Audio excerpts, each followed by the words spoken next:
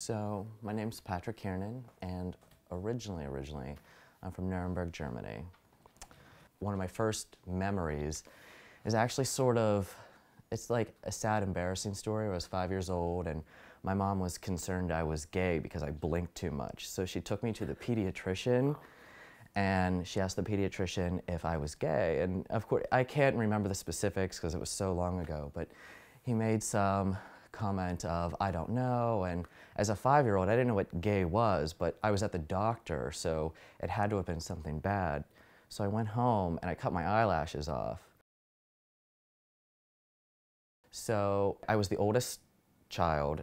I was a boy. My dad was, he went to states for wrestling. He was the captain of the football team. He was like all-star baseball player. And I played the bass clarinet in the marching band. Um, I did not live up to his expectations of what a son was. He used to always say, marching band's for girls and faggots. And I never, it hurt me, but at the same time, you know, I didn't know, I didn't think that it was anything wrong that I liked it so much. At the same time, I never classified myself as being gay because I loved it.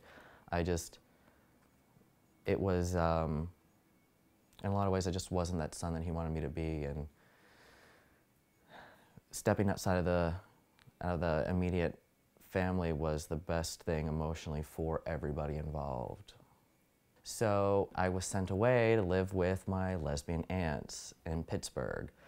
Um, I sort of used them as the platform to dive into the gay community and I don't think I would be who I am today if that didn't happen. I'm so grateful for that change because it's that's what I use to sort of step into me.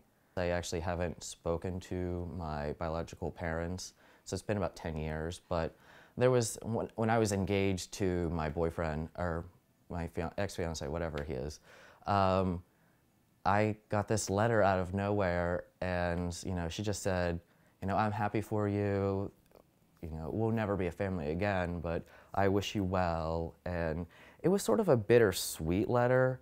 Um, it was one of those things where there was almost like a sense of relief through the acceptance, um, but there was a little bit of a heartbreak that, um, like, she was never going to be my mom again.